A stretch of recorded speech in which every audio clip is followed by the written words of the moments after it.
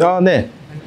5人送迎にも送ったっけ、 어, 안녕하세요. 저는 이제 고드 키친의 이제 총괄 셰프이자 예, 관리자 신무건입니다. 고드 키친이라는 매장 소개 한 번만 해주세요. 저희는 일단 남프랑스 지방에 고드 마을이라는 곳이 있거든요. 거기를 모티브로 이제 점포동 이 여러 가지 외식업들이 있지, 않, 있지 않습니까? 그 외식업들을 여행지로 컨택을 해서 그 중에 한 마을로 컨셉을 했습니다. 그래서 그렇게 해서 만들어진 레스토랑입니다. 매장 이름이 고드 키친인 이유가 저희가 고드 키친인 이유는 남프랑스 지방의 작은 마을 이름을 따서 그 컨셉을 그대로 재현을 한 겁니다. 아까 저희한테 소개하실 때 그럼 이 건물이 앞- 여러 가지 건물이 있다고 말씀하셨잖아요. 이 한 건물 안에 매장이 세 개가 있고요.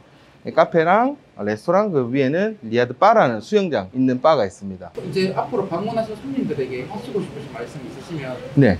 어, 기본적으로 저희는 보시다시피 이제 open kitchen이잖아요. 일단 음식의 맛은 기본으로 어, 맛있어야 되는 건 당연하다 생각하고 이 손님들이 좀 안심하고 드실 수 있게 좀 위생적인 주방을 좀 꾸미면서 외부에서 또 다른 음식을 접해보지 못한 것들을 저희가 좀 매일 제공해드리고 싶어서 이렇게 만들었고 저희는 4개월에 한 번씩 신메뉴 개발을 해서 판매량이 낮은 것들은 빼고 손님들이 선호하는 메뉴들을 개발해서 좋은 경험을 드리고 싶네요. 예. 아, 네.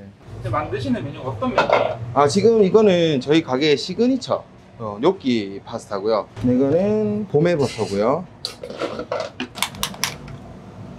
뇨끼는 감자를 수제로 반죽을 했거든요. 저희 가게는 특이하게 소금을 쓰지 않아요. 그래서 오로지 레지아노 치즈로만 간을 하기 때문에 어, 감칠맛도 있고 상당히 손님들이 좋아하는 메뉴입니다.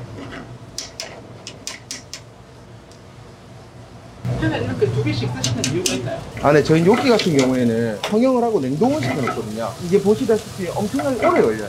손도 많이 가고 네, 시간도 오래 걸리는 거라서 네, 얘는 소스용 프라이팬이고 얘는 면을 굽는 프라이팬으로 해서 두 개를 사용하고 있어요.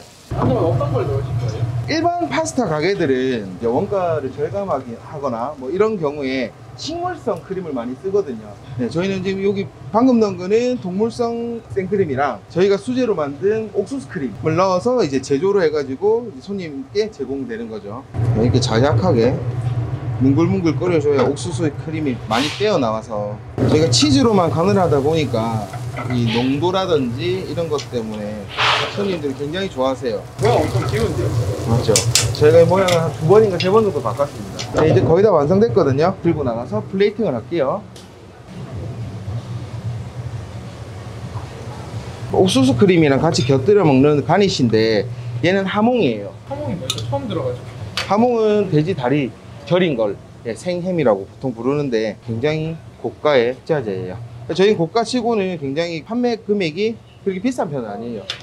예, 저 위에 올라가는 거는 루꼴라입니다. 네, 엑스트라 버진 오일로 풍미를 한 번 더 주면은 저희 요끼 완성입니다.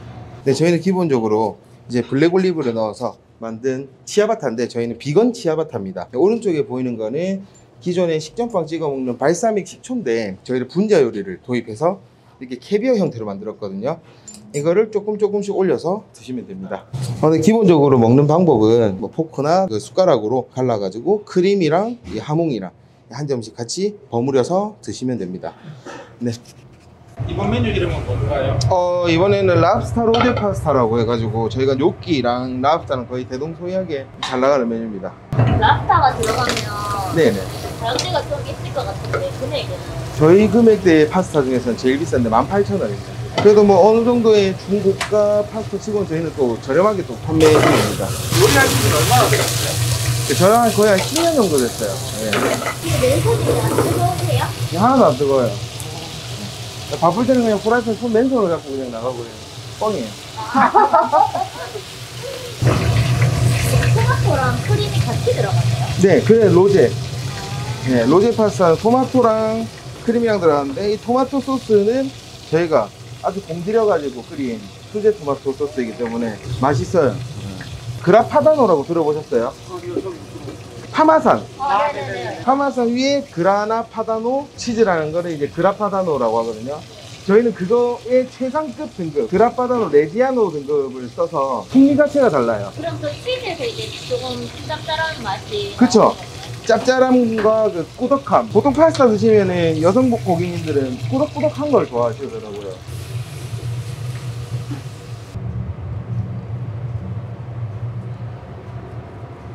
랍스타를 올리고 랍스타를 구웠던 버터를 가지고 풍미를 좀 더 주기 위해서 끼얹어 주거든요. 기본적으로 파슬리가 한국 파슬리도 있는데 저는 이태리 파슬리를 고집해요. 얘가 향이 좀 많이 셉니다. 빵가루와 빵가루는 파스타 식감을 좀 더 더해주기 위해서 뿌려주는 거고요. 그리고 저게 생 모짜렐라거든요. 이거는 냉동이 아니고 진짜로 생이라서 좀 더 풍미라든지 예, 좀 재밌어라고. 저 이거 다 먹어도 돼요? 피디님? 나도 맛은 봐야 돼.